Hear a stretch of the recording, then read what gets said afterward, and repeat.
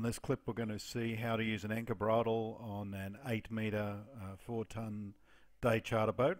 So it's a fairly large unit.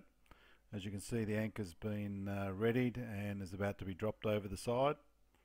It's allowed to uh, hit the bottom and the ropes run out as you would normally when anchoring this larger boat.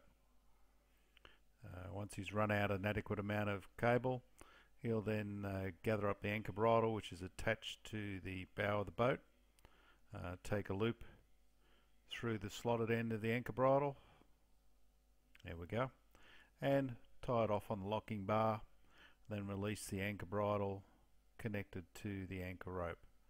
Run it out and as the anchor is bitten you can see the boat start to swing around.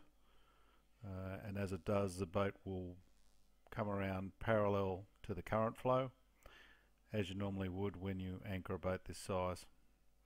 Going up to the front the operator just checks that there's no fouling on the anchor rope and as we move to the front you can see the boat has moved parallel to the current flow. The anchor running out the front of the boat and you can clearly see the anchor bridle attached to that rope. Now the operator can now move to the back of the boat and adjust the position of the boat by pulling on the anchor rope, uh, bringing the stern of the boat around uh, gradually and uh, can put it in the appropriate position for a day's fishing.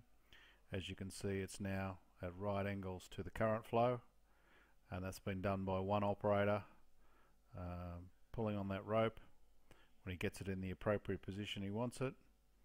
It's fairly easy then single-handedly to just tie it off on the rear cleat